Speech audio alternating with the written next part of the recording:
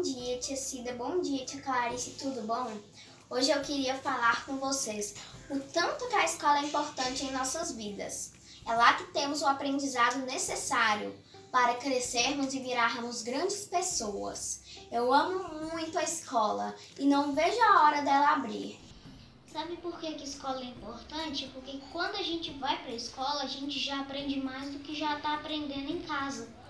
E também porque a professora ensina a gente muito amor e carinho. E também porque é muito importante português e matemática. Essas são as matérias que a gente mais vai usar na vida. Porque lá o estudo é importante para mim, lá eu posso aprender a ler, a escrever. Também eu posso, né? aprender a estudar muito. Titia, você é meu espelho. Coração, diretora, isso é para você. A escola é importante para mim por causa que meus pais me ensinaram que lá é o início da base para todo o meu conhecimento. Que a escola é muito importante para o nosso futuro.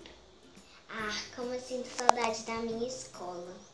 A escola para mim é muito importante, porque lá cada dia eu aprendo uma coisa nova. Tudo isso logo vai passar para nós voltar para a escola.